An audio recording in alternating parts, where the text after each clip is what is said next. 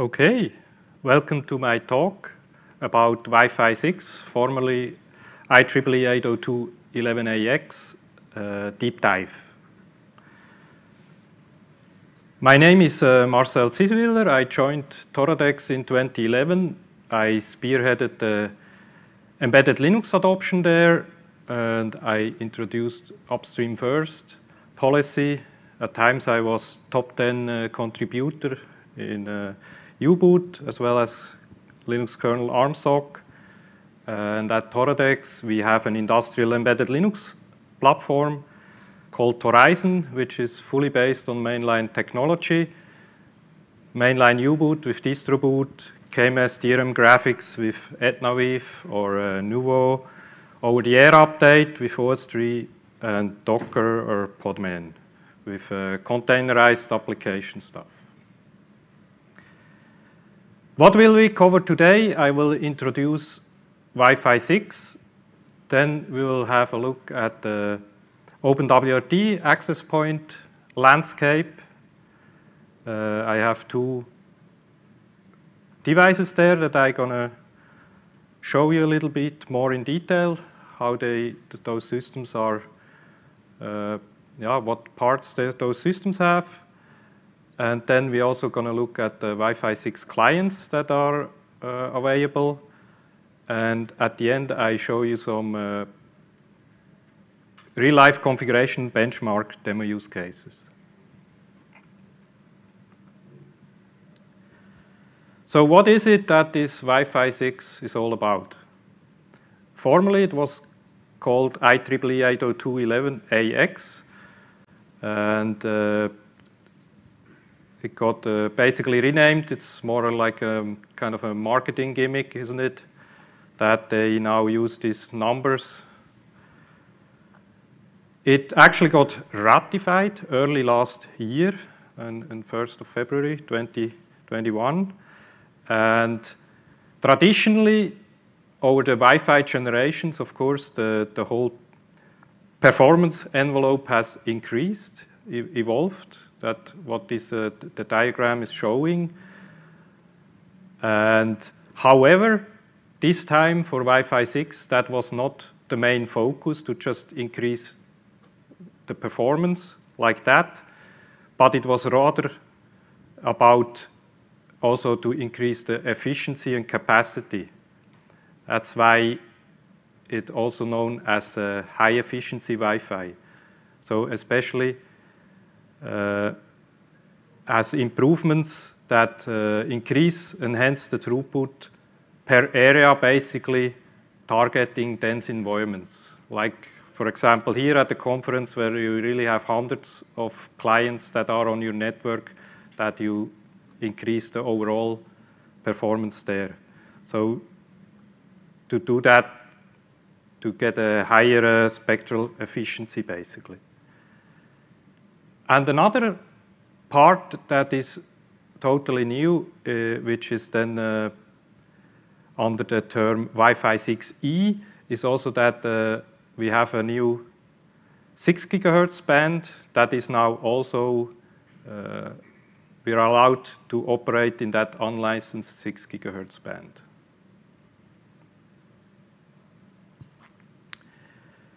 Let's have a look at the main concepts of Wi-Fi 6. So one of the concepts is this orthogonal frequency division, multiple access, OFDMA. So basically, the spectrum is broken up into groups of subcarriers that are called resource units. And this basically allows sharing each frame amongst users. So in older uh, Wi-Fi standards, basically one frame could only ever have content of one user. The problem with that is if you have now contention for it, it doesn't matter how much or how little data a user has, it will always block a whole frame. With Wi-Fi 6, with OFDMA, basically you can share such a frame amongst multiple users. And this benefit also uh, the 2.4 4 gigahertz band, which is often used for like anyway lower uh, rate IoT traffic, for example, for, for sensor devices, whatever. Nowadays, home automation, everything, you, you might have dozens of clients basically flocking that space. Not. Then a completely different thing is that it now also allows uh, 160 megahertz bandwidth channels. This is a little bit, uh, yeah, probably one of the features that is uh, kind of diametral to, the, to this concentrating on dense applications. Of course, if you want a 160 megahertz channel, then that won't work well if you have a lot of clients because you basically usually only have like two such bands even available, for example, in the, in the 5 gigahertz space. Then another concept is that it basically uses higher order 1024 quadruple amplitude modulation, the 1024 QAM. It's basically from information technology how you really pack the digital bits into uh, radio signals. Usually the way that is done is that you have these uh, two so-called carrier sine waves they, they are phase shifted, usually by 90 degree, so kind of a quarter out of phase. And now you modulate not only the output, so the amplitude, but also the, the phase. And that is how you encode the bits. So I have here an example, for example, of course, from a, one of the very first Wi-Fi standards where we had a 4x4, so a 16 QAM. Uh, you now have to think about that. For Wi-Fi 6, it's really now a 32 by 32, so it's a huge space how uh, the bits are encoded. And of course, that uh, delivers an increased throughput. So you can uh, get up to a 25% peak data rate increase over the previous 256 QAM that was used in uh, Wi-Fi 5.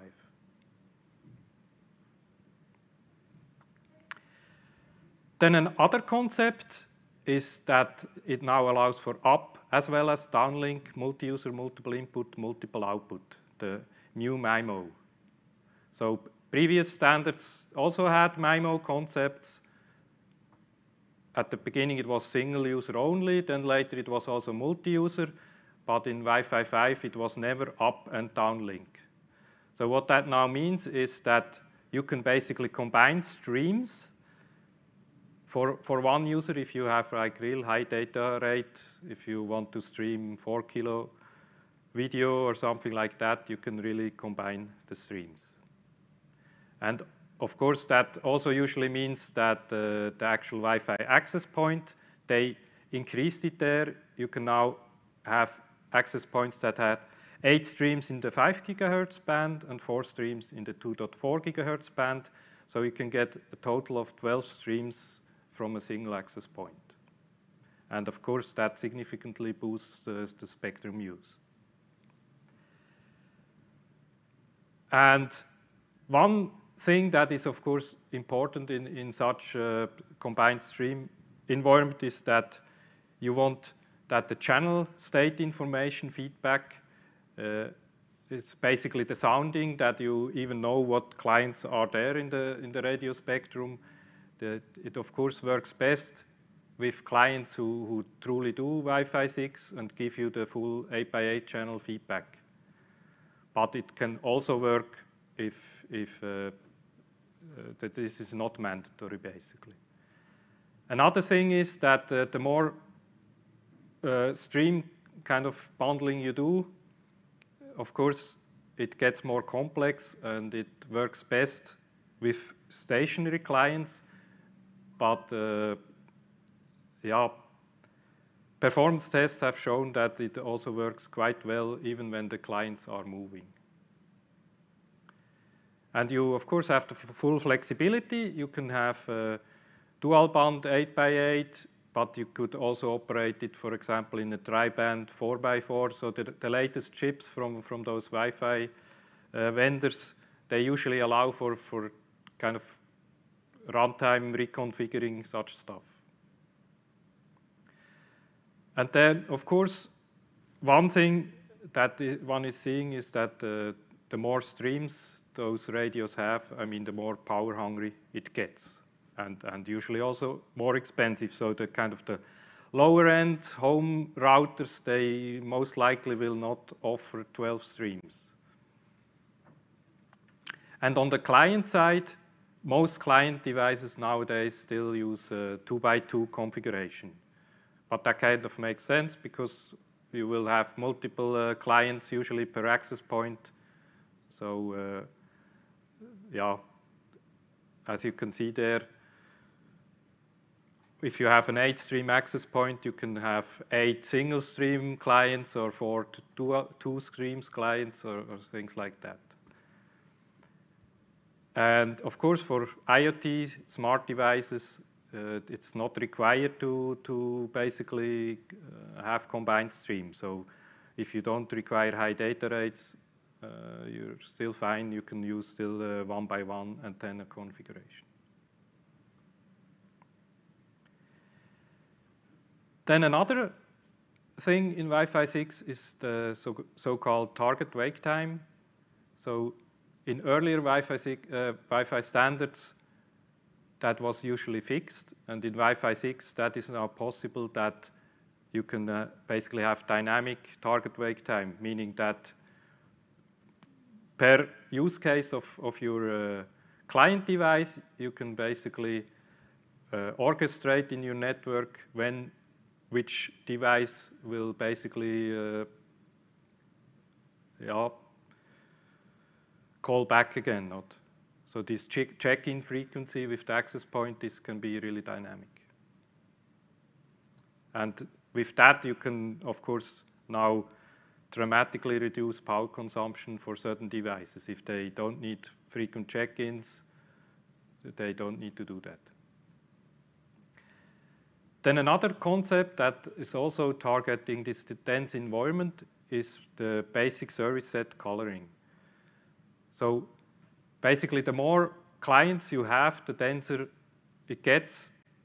You will, of course, need more access points or multiple access points. But the problem is the, the spectrum is kind of limited. You cannot, if you now have a dozen access points, for example, at the venue here, there, there will probably even be, uh, I don't know, multiple dozens of access points likely. And then they eventually will have to share a frequency. And now the problem is there will be some contention going on, basically.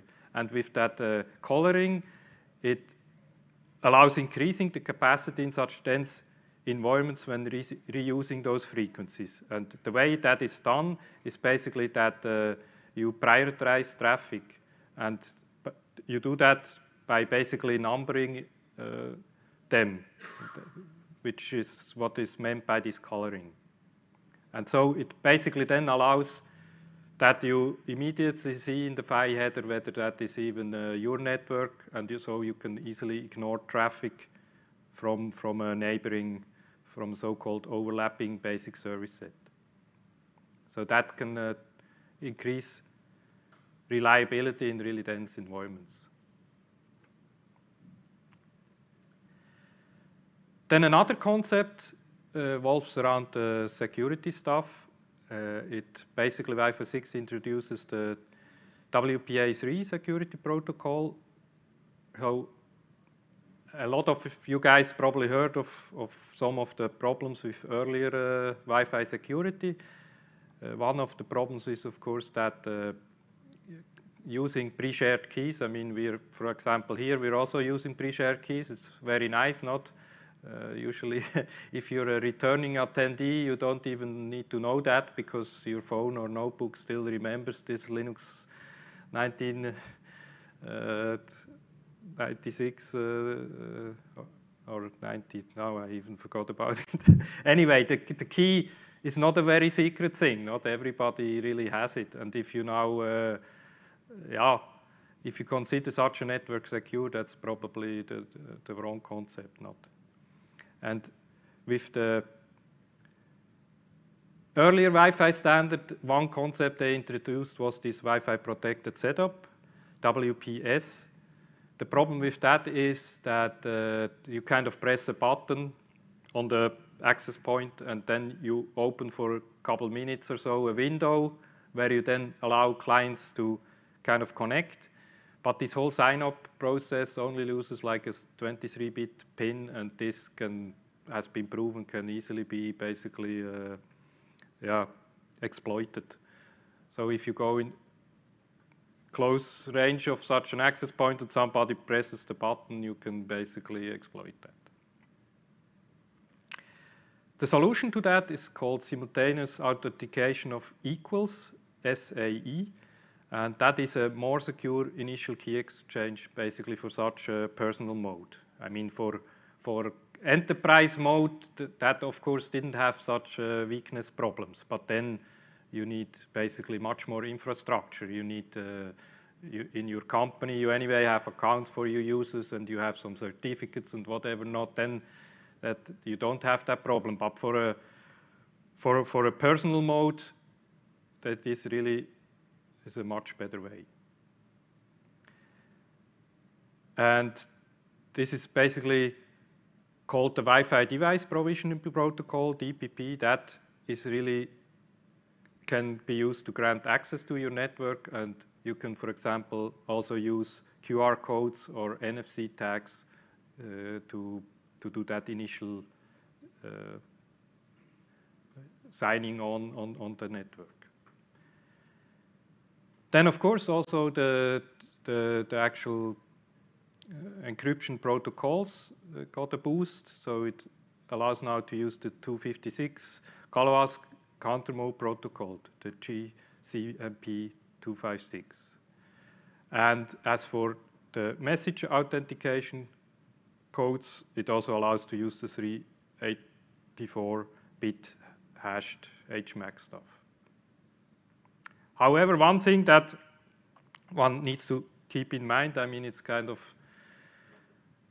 everywhere more or less the case, not is that uh, those are just the new algorithms that are now also supported. It doesn't mean that uh, the, the, other ones are still kind of there, and it's it's more a, a, policy question or a configuration question whether or not they are still uh, can still be used on your network. So basically, only with with WPA3, only 128 bit is is mandatory.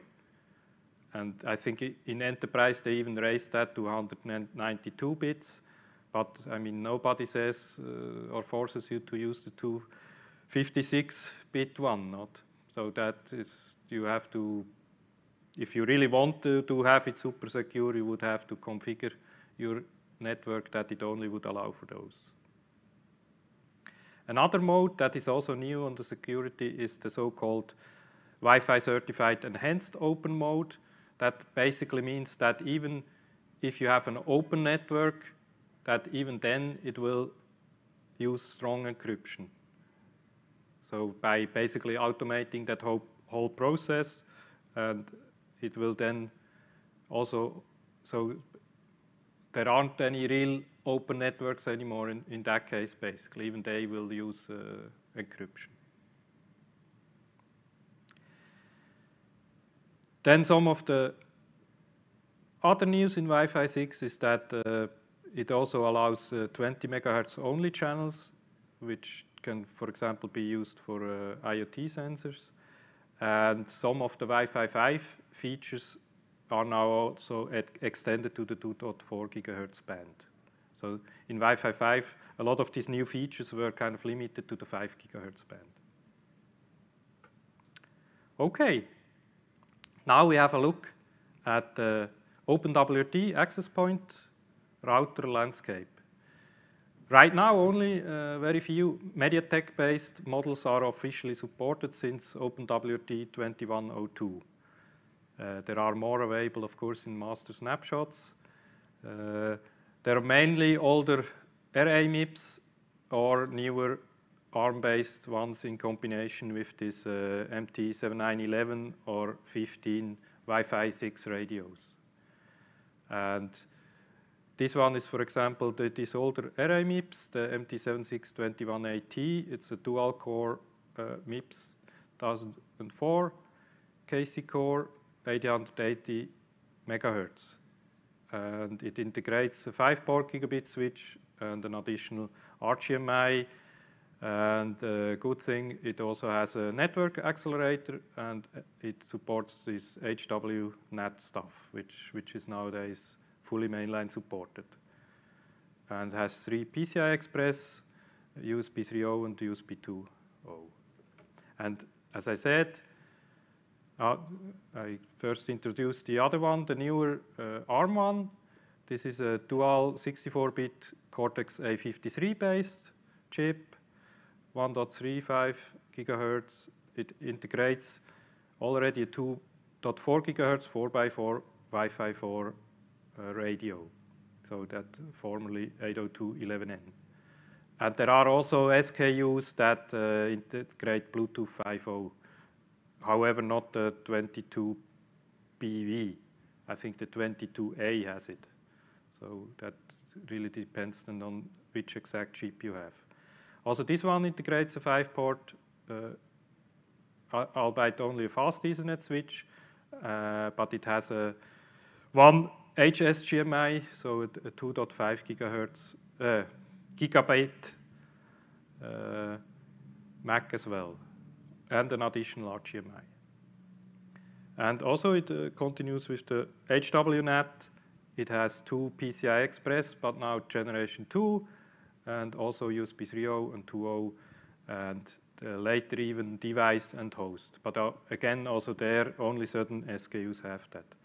And for, for like uh, uh, net uh, use, it also has a SATA 3.0 or eSATA generation 2 and then kind of the chips around it. So especially for the later one, which doesn't include a gigabit switch, often used is the MT7531BE. This is a 5-port gigabit switch which has actually a 2.5 gigabit uh, CPU port. So it matches perfectly there with that uh, MAC available. And then as for the radios, there are the MT7911 and the 7915.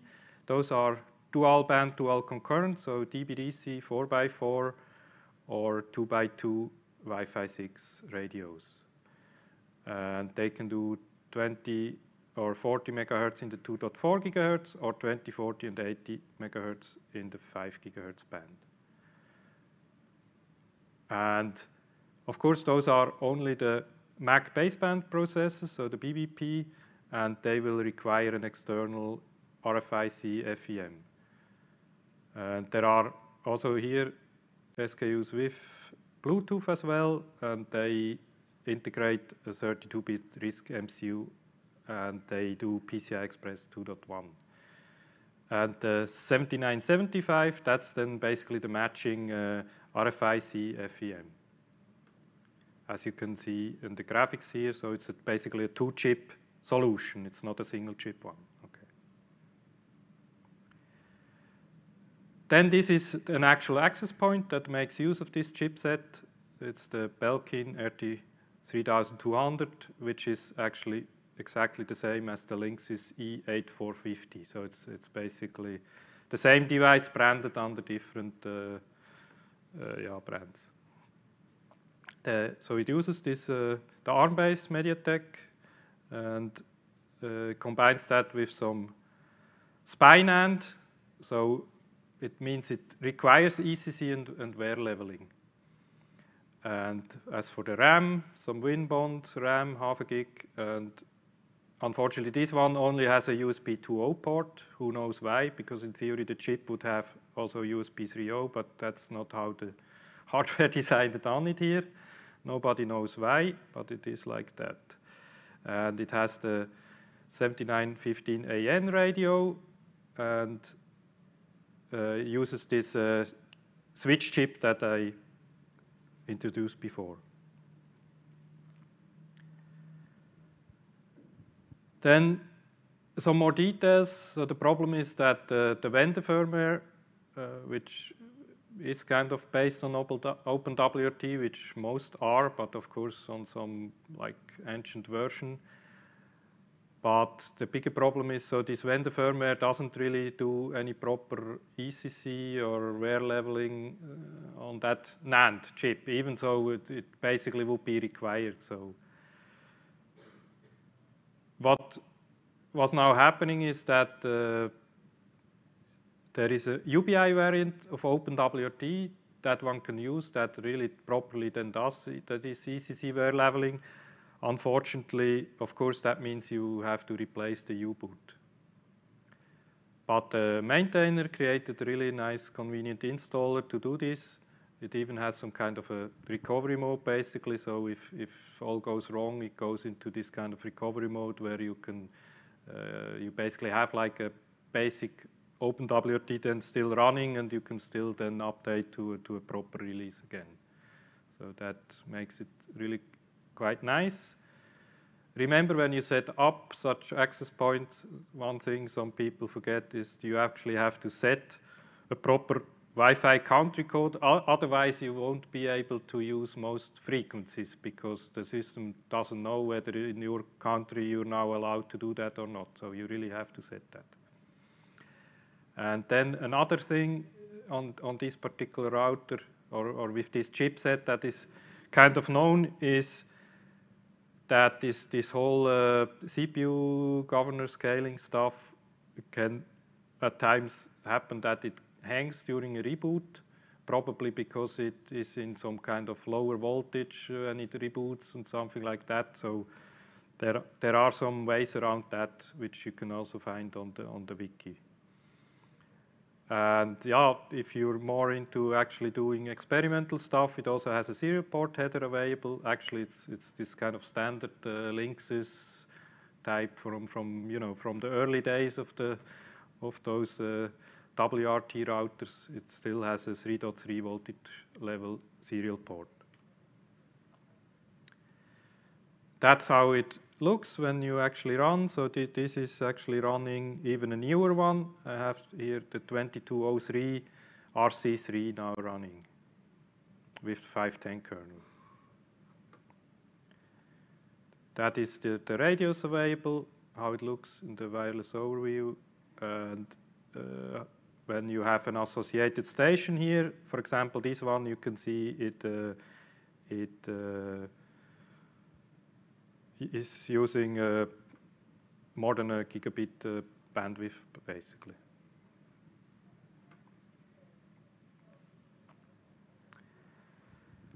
Then another kind of a chipset in Wi-Fi 6 is, of course, the stuff from Qualcomm. So the IPQ 87X kind of range those even have uh, usually quad-core A53s, even a little bit higher clocked. Some SKUs come with integrated dual-band, dual-concurrent radios, however not the 71A in this router I'm going to show you later. That one basically uses uh, dedicated separate PCI Express radios. It also comes with uh, 4 gigabit Ethernet as well as even two 10 gigabit ones, and also USB 3.0. And like I said, it also usually uses uh, some more chips around it. One that is uh, commonly used with it is the so-called IPQ 8075. This is basically a five-port transceiver, so it's not a switch. So basically the the chip here, while it has multiple Ethernet and an Ethernet switch integrated, it doesn't have the PHYs for them. So you basically need a separate PHY chip, a five-port PHY chip if you want to do five ports. And then the lower two, uh, three are the radios or some of the radios available in this line. It's the QCN 5024 is basically the 4x4 uh, 2.4 gigahertz one. The 5054 is the 4x4 5 gigahertz one. And then there is also a 9024, which is basically a dual concurrent 4x4, 2.4 and 5 gigahertz band radio.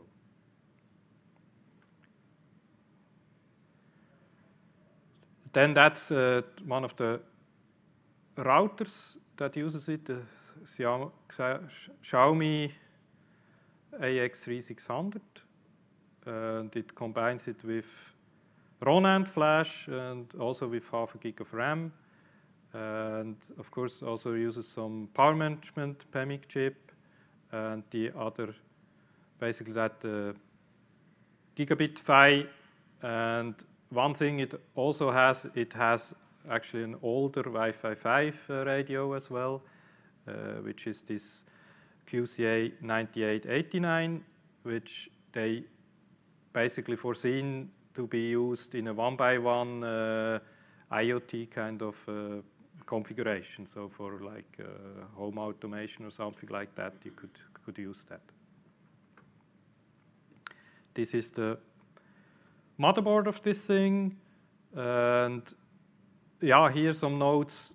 So by default, the, the vendor U-boot is, is actually the, the serial input is uh, or receive is locked.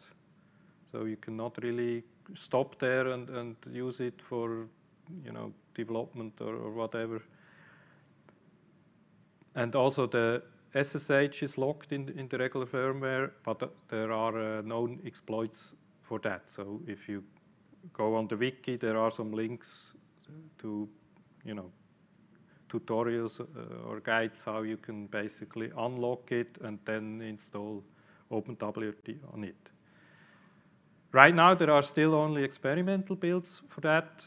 Uh, and one thing, another note is that the HGA, ATH11K uh, driver or, or yeah, system, I mean, it, it's remember it's, it's the driver and there is also some firmware running and whatever not, but all this is really very memory hungry. And another thing is that the stock flash layout of this router uh, doesn't really allow you to make easy use of, of all the flash space. So it only allows you to use about half of it. But usually with OpenWRT, it's not, not a big deal. Uh, usually you won't install 100 megabytes of packages, not. And another thing to note here is that uh, it also has a serial port available. One can see it here on, on the left side. But in this case, with this chipset, it's actually a 1.8 volt logic level, so you have to be careful. You will need a a probe or USB adapter or whatever not that, that can really do this 1.8 volt. Otherwise, the, you know, the, there is the danger that you will destroy the chip. That is basically running a snapshot. The, there is uh, basically the maintainer. I mean, like I said, it's not really in there yet, but he has some uh, GitHub Action, which actually builds uh, regular images, so you can fairly easily install one of those. This is with one of these snapshot images. It's running uh, even later, the 5.15 kernel. And this is, for example, uh, an associated station, which actually synced with the top uh, Wi-Fi 6 1.2 gigabit rate.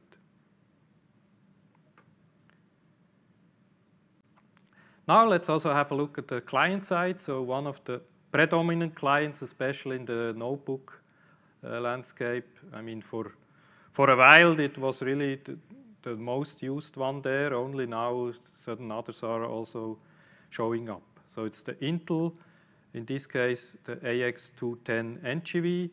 So this is a 2 by 2 and it actually already supports this Wi-Fi 6E, like uh, mentioned initially, so we can do 2.4, 5, or even also the 6 gigahertz band. Plus, this particular model can also support this 160 megahertz uh, mode. And it also, uh, yeah, the Wi-Fi part it does uh, on PCI Express, and on the Bluetooth part uh, is done by USB. It is in the regular M2 to 30 form factor, which is what most notebooks have.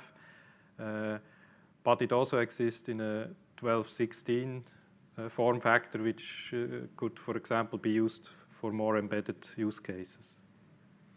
Then the Linux driver for it is called IWL Wi-Fi, uh, and there the initial Wi-Fi 6 support got merged in July 2018, and the actual AX210 NGW is supported since February 2019.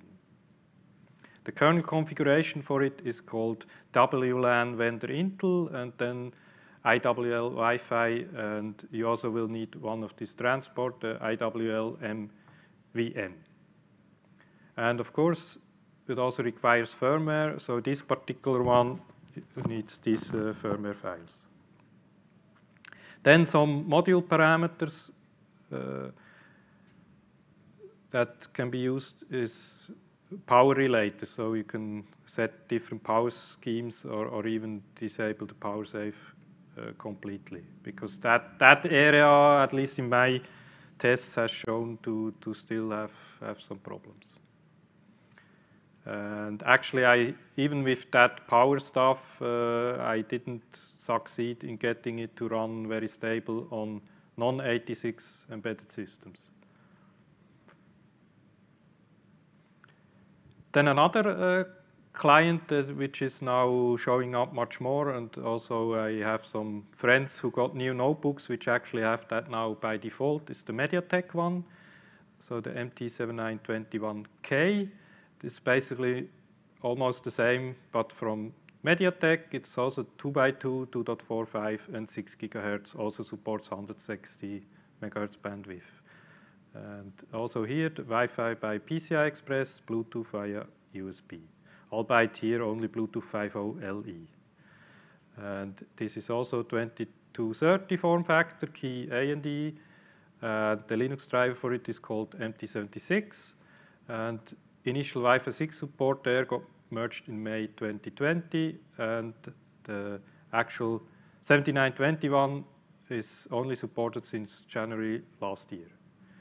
And the kernel configuration for it, and also the firmware required. And this one actually has shown quite stable and quite high performance, uh, at least on x86-64, but it also ran really good in my tries on ARM-based embedded systems, albeit not quite that high performance. But that might also, uh, I guess, depend more on the, on the SoC, basically, of the main system. The other one is the Qualcomm, the QCA 6391. That's basically the, the, the client side of the ATH11K stuff. So this one is 2 by 2 2.4 and 5 gigahertz, dual band, dual concurrent but it only does 80 megahertz bandwidth. So it doesn't do any 6E and also not 160 megahertz. It has Bluetooth 5.1 via UART PCM and the Wi-Fi again still uh, PCI Express.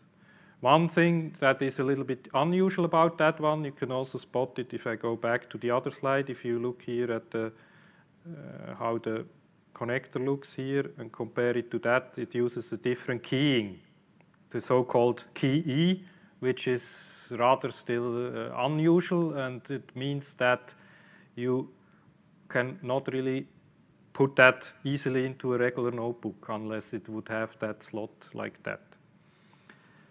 Anyway, kernel configuration and firmware for it. It proves to run quite stable and also uh, didn't show any big problems running it in an ARM environment.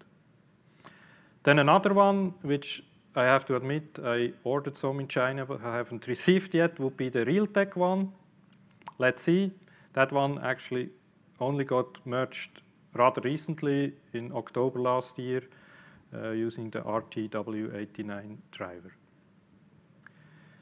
Then I want to talk a little bit about some use cases as well. So I actually did some tests on a x86 as well as an ARM platform. And that, that those are some of the pictures. Like I said, in the middle you see that you need some kind of adapter stuff to even run this E-key stuff in, in such a notebook, which is uh, rather uh, unfortunate. On the right side, one of our Toradex boards with such a Wi-Fi, again with an adapter because we still use mini PCI Express and not M.2 slots on our board so far. And those are some of the numbers. Uh, this is just with iPerf. Uh, and like I said, I had trouble getting the Intel one to work on the ARM platforms. It just kept kept crashing all the time. So you can't even run any, even the shortest iPerf, it just kept crashing. And you can see here on the x86, the, the MediaTek has really good performance. And strangely, for, for the upload direction, the, the Qualcomm one seems to be slightly better.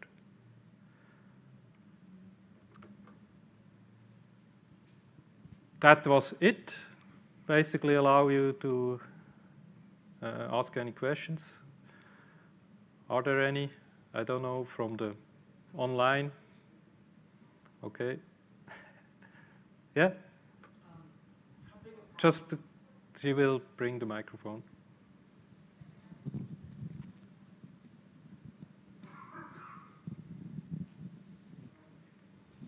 How big a problem is congestion with um, cellular networks that are now using the unlicensed bands? And were there any features added to sort of mitigate that congestion problem? That's a good uh, question. I think one of the advantages, I guess, with Wi-Fi is that it's a it's a local area network. You know what I mean? It's it's uh, range is of course, and and also the wattage on the radios is is very limited. That way, uh, yeah, it should not get too much such interference problems, unless you have some radio in the vicinity which which uses much more much more wattage uh, to send. I guess then then you basically have not much chance. You're not gonna win against that radio, basically not. But I, am not sure. Yeah, I mean, I yeah. I mean, the unlicensed bands are basically, yeah, they're unlicensed. So within this envelope, you're basically allowed to use it, not? But if you have another radio, I mean, you, you often hear of people, for example, that live in some apartment or something where they have some kind of uh, not too nice neighbor or something, which might be doing even something halfway illegal or something on such a band, then you cannot use it. You really have no chance usually. The, I mean, you just, it's useless. It's not usable basically. You cannot do anything anyway because you will need a mechanism to tell the other guy, I mean, you cannot do that, not, but there is no such mechanism. Okay? And Any other questions? Well, we're gonna have to conclude the session. Sure, yeah, There's on, there's eight minutes and the next round of, exactly. You also find the references in my slide if you're interested to run any of that stuff, or you can contact me. Thank you very much.